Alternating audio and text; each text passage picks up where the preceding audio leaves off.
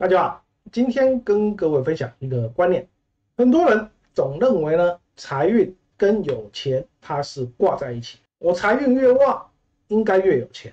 但是我们发现到，很多人其实他财运虽然很旺，可是在现实生活中他却是苦哈哈的，这是怎么一回事？首先，我们呢要从啊定义去了解什么叫做财运，财叫做我克者为财，我克者为财。这个克就是呢，我要能够控制它，我要能够懂得它，所以呢，这个才是所谓的财运。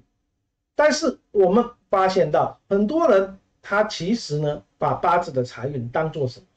不劳而获，就是呢，我财运很好，我坐在那里什么都不用做，自然呢，天降横财给你。很多人对财运的观念是这样，其实是错的。我克者是我要付出的，你不付出，你要怎么获得？所以其实财运它也是要付出你的劳力的，并不是坐在那里不劳而获。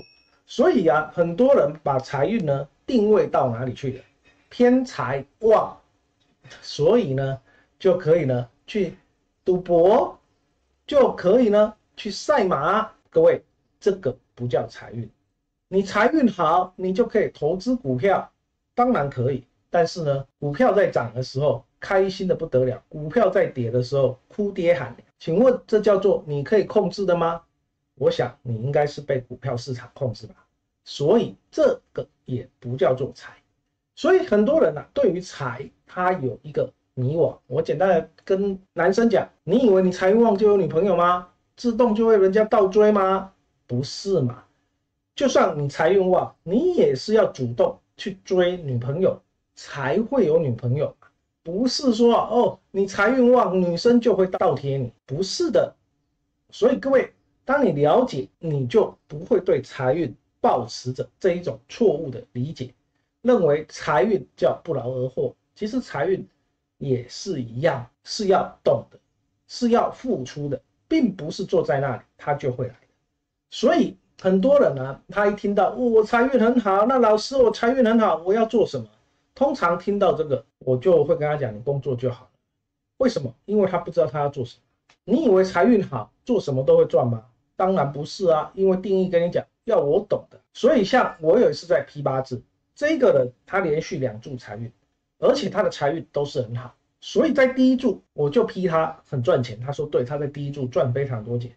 第二柱财运其实也是很棒，我还是一样跟他说你很赚钱，但是却出现了他把第一柱赚的钱几乎赔光，我就问他为什么会这样，他就说他在第二柱的时候，人家跟他讲互联网是未来的趋势，所以建议他呢创造一个平台让大家在上面消费，他就说 OK 啊，可是他完全不懂，他就只是一直在投钱进去而已，然后没钱。人家又跟他讲，叫他继续投钱，所以啊，他根本就不懂得这个技术，然后把资金丢给别人，这时候财运是在别人身上了，不是在他手里的，因为他只有负责出钱的份，而投资的这个人，他的财运好，才有可能会成功，可是偏偏就很差，所以啊，自然而然他就赔钱。然而，我就问他，你第一注。到底是做什么？他说他做他最擅长的贸易，各位他擅长的贸易，所以我就跟他讲，你收掉了，不要再投资了，去做你原本就很擅长的贸易，你才会赚到钱，因为那是他懂，他会。所以各位你要知道，不是财运好做什么都会成功，而是要你懂的，你会的。